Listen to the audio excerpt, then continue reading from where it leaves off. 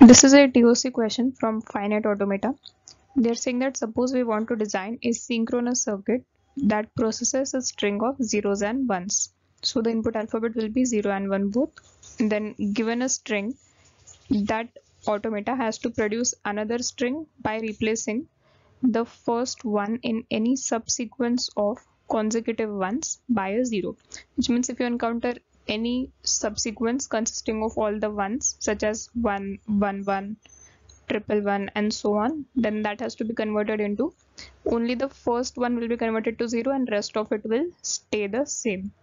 1 0 0 or no this would become 0 1 similarly the first one will become 0 and then rest of them will be remain same. So th this is what the modification has to be made so they have given an example. This is the input sequence. And as we can see in this particular character that one has been changed to zero. Then here we had a consecutive ones in which the first one has been changed to zero while the next one has been retained. Similarly here we had another subarray of zero in which first has been converted to zero and rest of them are kept as it is so what modification we have to do using this finite automata we have to find out a subsequence of consecutive ones and then we have to replace the first one in that with a zero. And rest of them will remain the same. So for performing such an operation a mealy machine has to be designed. It is a state machine where both the next state and the output are the functions of the present state and the current input. So that is the definition of Mealy machine which they have given. The above mentioned circuit can be designed as a two-state Mealy machine. So for performing this particular operation we have to design a two-state Mealy machine in which the states can be represented using boolean values 0 and 1 so they're saying that the given problem can be modeled as a two-state Mealy machine in which the states will be 0 and 1 we denote the current state next state next incoming bit and the output bit using these variables s t b and y respectively. Then for them the values have been asked. So first of all let us design the machine itself and then we'll see what are those variables to deal with. So as we can see this initial state is 0 and from this state if we get the input variable as 0 then what we'll do? We will stay in the same state. And because this is a mealy machine an output will be associated with this input which will be written along with it in this particular way. But for this state if input is 1 then as we saw that first one has to be converted to a 0 so we will go into this state if the input is 1 and we'll convert that to a 0 so this will be the transition.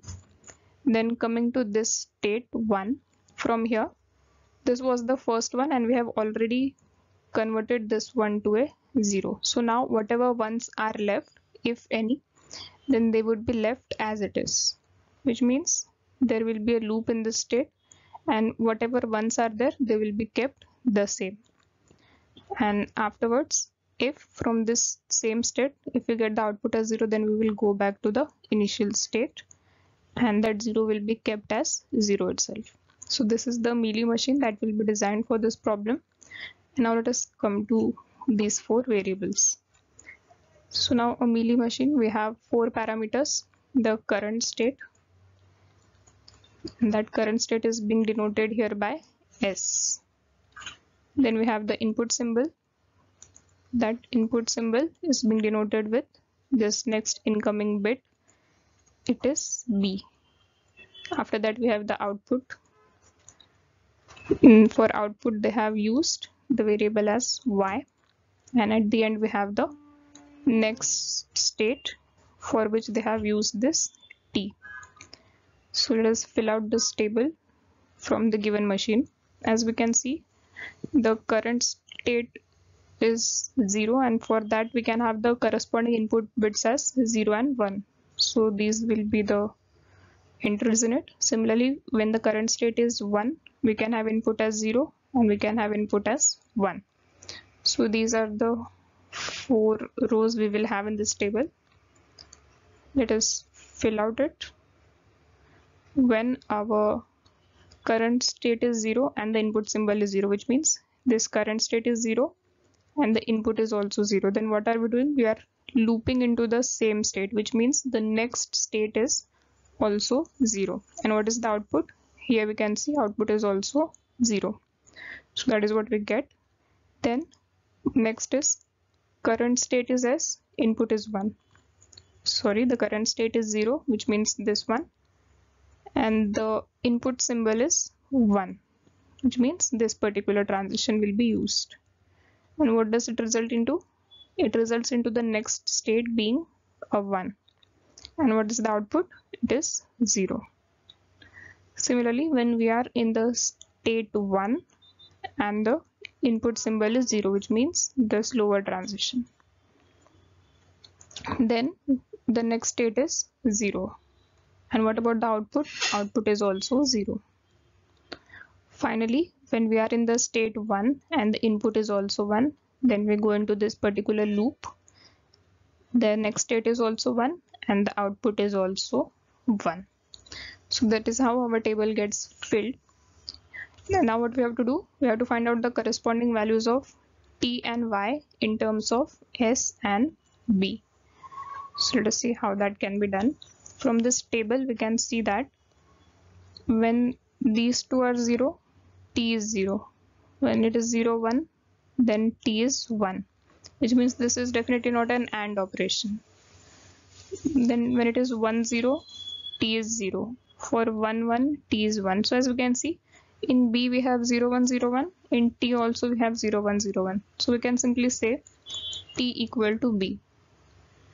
That is the expression we got for t. And now coming to the next one which is y. As we can see when both are 0 y is also 0 when it is 0 1 then also y is 0 for 1 0 also it is 0 and only for the last 1 1 it is 1 so we can say y equal to s and d. The other way for doing so would be would have been to create a k map and then check out what are we getting in this way. But because there were just two variables so it was not necessary to do so. St then we would check out for both t and y respectively by filling out this 2 cross 2 k map. But it was simple to visualize itself in this way. So that is what we did. For t we got b and for y we got sb so that matches with this option b. So that will be the correct expressions. So we'll be going with it